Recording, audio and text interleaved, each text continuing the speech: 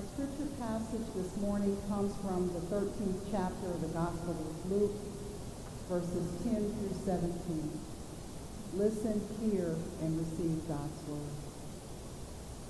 Now, as Jesus was teaching in one of the synagogues on the Sabbath, and just then appeared a woman with a spirit that had crippled her for 18 years. She was bent over and quite unable to stand up straight. When Jesus saw her, he called her over and said, Woman, you are set free from your ailment. When he laid his hands on her, immediately she stood up straight and began praising God. But the leader of the synagogue, indignant because Jesus had cured on the Sabbath, kept saying to the crowd, There are six days on which you ought to work. Come on those days and be cured, and not on the Sabbath day. But the Lord answered him and said, You hypocrites! Does not each of you on the Sabbath untie his ox or his donkey from the manger and lead it away to give it water? And ought not this woman, a daughter of Abraham, whom Satan bound for 18 long years, be set free from this bondage on the Sabbath day? When he said this, all of his opponents were put to shame, and the entire crowd was rejoicing at all the wonderful things that Jesus was doing. This is the word of the Lord. Thanks be to God. In 2018, the Pew Research Center sought to answer the question, why do Americans go or not go to religious services? This survey preceded COVID, and we know that many people have not returned to in-person worship for a number of reasons. However, I believe that the results of the survey are still valid, whether people worship in person or remotely. The study found that the primary reason people cite for attending worship regularly, or at least twice a month, is to feel closer to God. Other reasons or motivations include so their children will have a moral foundation, to be a better person, and or for comfort in the times of trouble or sorrow. To a lesser degree, people indicated that they attend worship because they find the sermons valuable. Praise God. to be part of a faith community, its family tradition or out of obligation, and or to socialize or meet new people. People who define themselves as believers and never or infrequently attend worship reported that they practice their faith in other ways. They have not found a worshiping community they like. They do not like the sermons, or they do not feel welcome. Have you ever taken the time to think about the reasons you attend worship? From the time I made my entry into the world, my parents took me to church. And as I grew, attending church, participating in worship and ministry programs was as natural as breathing. When I became an adult, church was a place where I felt grounded, a place I belonged, was loved, and surrounded by people who had nurtured and poured into, encouraged, and taught me what it meant to be a follower of Christ. In worship, I felt close to the Spirit of God. The church was a place of sanctuary where troubles and burdens, disappointments, or cares were lifted. A place where there was freedom to exhale, to be authentically who God created to me to be. Expressive, emotive, joyful, free. In the book of Luke, Jesus had sojourned with his disciples and followers, sharing truths that they would need in order to continue after his crucifixion. As Jesus traveled, he had healed the sick and afflicted. He fed the hungry, raised the dead to life, overturned social and religious strictures that figuratively and literally bound people.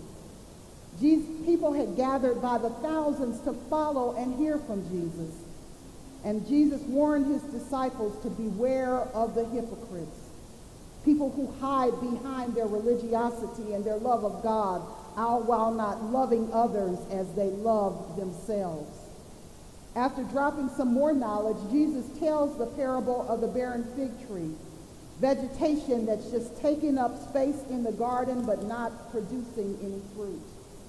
The caretaker of the garden implores the landowner to allow him to dig around the tree, spread some fertilizer on it, and if it does not produce fruit in the next growing season, then it can be cut down. Do you see any similarities between the fig tree and the hypocrites Jesus warned about? People who do not spread love, joy, peace, or freedom in the world. Both are barren, empty, fruitless. In today's lectionary passage, while teaching on the Sabbath in the synagogue, Jesus encounters a woman who he discerns has a spirit that has her bent over now, we really don't know what's caused this unnamed woman's physical or spiritual ailment. What we do know is this. This woman has spent the last 18 years of her life unable to look up.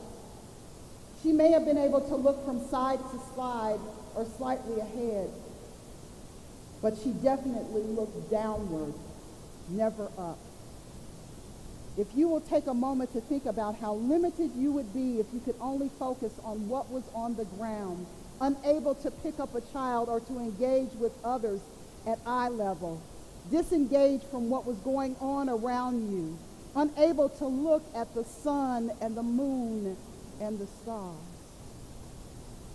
This woman's physical condition limited her ability to fully participate in community. Yet she pushed back against the conventions of her day and made her way to the synagogue, a place where she was not welcomed or accepted. Today's passage does not indicate whether this woman had a male individual that accompanied her. So in her context, she would have no agency or standing in her community. More than likely, the woman was financially insecure, marginalized, her marginalized by society, treated as unclean, and banished by her faith community. But despite her infirmity, her social status, and her marginalization, this woman made her way to the synagogue on that particular Sabbath. I suspect that she knew in her spirit that she would find her healing, her release, and her restoration there that day. Many of us make our way to worship be it in person or remotely, and we bring our physical, mental, and spiritual illnesses with us. Many come broken by injustice, marginalization, and oppression. Many come bent over by financial insufficiency, unable to provide for themselves or their families. Many come beaten down by racism, sexism, ageism, xenophobia, and heterosexism. Many come grieving the loss of a loved one, a relationship, security, or self-worth. Many people come so discouraged, disheartened, hopeless, and dispirited that they have almost given up. And even if you do not personally identify with any of these life situations, you may know someone who does, or you come with your own situations and issues seeking relief, seeking community, seeking to be set free, seeking a word from God that will speak to your heart, your body, your mind, and your spirit. Now, if I were in the black church right now, I would tell you all at this point in the sermon to look at the person sitting next to you and ask them, what did you come to church for today? Did you come seeking a blessing, release, restoration, to hear from God? Or did you come to church because it's what you do on Sunday before going to brunch? Did you come to church because you like or dislike the preacher and are here to either support or to create havoc? Did you come to church today because you are a person with authority and seek recognition as such and want to throw your weight around? Or did you come to church today because you are spiritually, physically, or mentally ill and you are here for a Sabbath healing? The woman in this passage did not approach Jesus. She did not ask to be healed. Jesus saw her. He saw her physical and spiritual condition, and he called her over. Jesus didn't pray. He didn't sprinkle any holy water on her. He did not anoint her with oil. Jesus simply spoke, Woman, you are free from your ailment. And then Jesus laid his hands on her. I'm here to tell you that when Jesus speaks, demons flee. When Jesus speaks, captives are released from bondage. When Jesus speaks, chains are broken. When Jesus speaks, minds are regulated and set free. When Jesus speaks, the marginalized and the oppressed are restored back into community. When Jesus speaks, broken bodies, minds, and spirits are healed. And when Jesus touches you, hallelujah, you are never, ever going to be the same again. This woman's body was brought back immediately into godly submission. She stood up straight and she began to praise God. Hallelujah. Now you would think that everybody in the synagogue that day would be rejoicing with her. But instead, the leaders of the synagogue, indignant that Jesus would heal on the Sabbath, declared to everyone in the crowd, there are six days of the week on which you can be healed and made whole. Come on those days. Don't come on the Sabbath expecting that. According to the religious leaders, Sabbath conventions and regulations following the rules and the traditions were more important than people being healed and made whole. We all understand the Old Testament concept of Sabbath that urged Israel to rest from all work on that day, just as, Jesus, just as God rested from the work of creation to bless and consecrate the Sabbath. However, Jesus counters the religious leaders' assertions that there are six days for healing with the Pharisees' own concession, which allows an owner of cattle to take them to water on the Sabbath, provided the cattle does not carry any burden. One commentator stated, the communal function of both human rest from work to acknowledge the Lord's sanctification of the Sabbath and the human activity of observance and keeping the holiness of the Sabbath is to give institutional communal function to both tables of the law, to honor and worship God alone and to render justice to neighbor. Although the woman came not seeking justice or healing, Jesus knew that she was carrying a burden, an 18-year-long burden that separated her from society and that was physically and spiritually debilitating.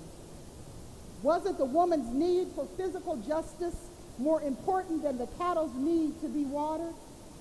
I believe it was Jesus who said in the book of Mark, the Sabbath was made for humanity and not humanity for the Sabbath.